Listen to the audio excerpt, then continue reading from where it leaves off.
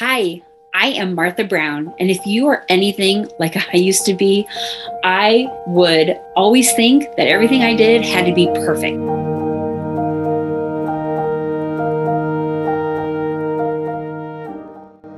I had to be perfect at every single thing that I did. And what did that do to me? It either left me in doing nothing at all because I had this all or nothing. If it couldn't be perfect, I wasn't taking action, or it left me in overwhelm, burnout, and quite frankly, it drove me into starting to use alcohol and drugs to deal with all of the overwhelm and the feelings of not being good enough. And in turn, led me into being homeless and jobless as well as divorced.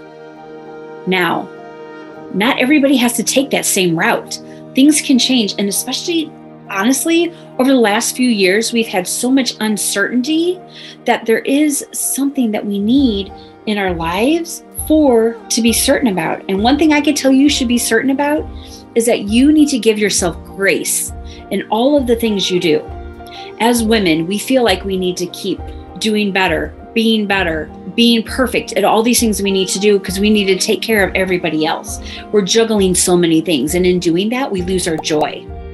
And in also doing that, we can lose ourselves and forget who we are and what we need. And on top of it, it can a lot of times make us feel empty.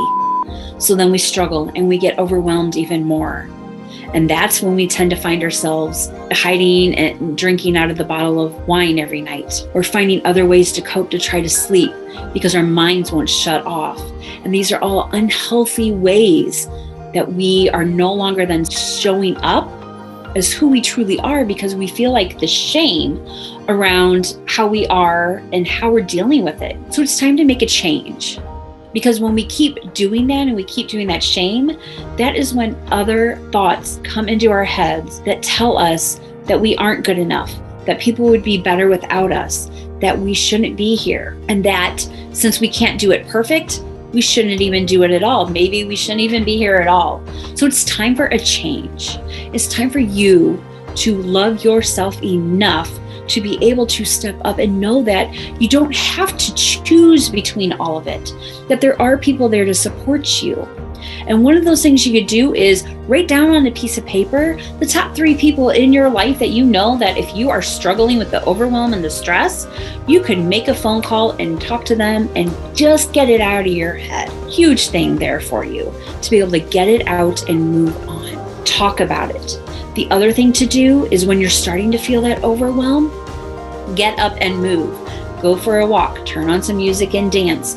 When you make that shift, all the energy in your body shifts and it helps you to not feel so like in yourself, feeling like you're not good enough. It helps you to start changing that. And if you want to change it on a more permanent way, knowing how to do those things, I want to invite you to have a call with me. We can put some things in place for you in order to get you from that self of feeling like you need to drown your sorrows in a bottle of booze or you need to figure out something else to do so you're not juggling all of these other things and you are missing out on the joy.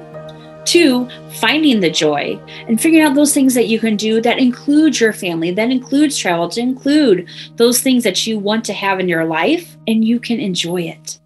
So if that's something that you want to do, I want to invite you to book a call with me at bookwithmartha.com and we can work through this together to get you on the right track. I look forward to talking to you soon. Thanks so much.